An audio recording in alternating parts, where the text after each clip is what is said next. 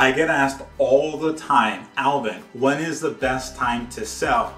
Generally speaking is when you need to sell.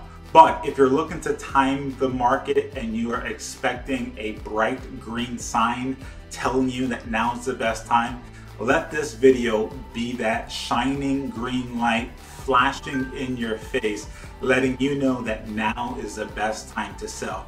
And it's for a couple of reasons. Normally, this is a high part of the market given that we had a strong winter, we've actually seen a decrease in inventory. This is a number of houses on the market, so there's fewer houses for buyers to pick from. This is typically the high end of the season, and mark my words, 2020 will be a year of volatility, and this is mostly due to just noise. We're pretty long into an economic recovery. There's a lot of international uncertainty and on top of everything else, it's an election year. So when there's a lot of noise, it creates more and more uncertainty. So we are more certain of the markets right now. Later in the year, we'll be less certain, meaning that now is the best time to sell.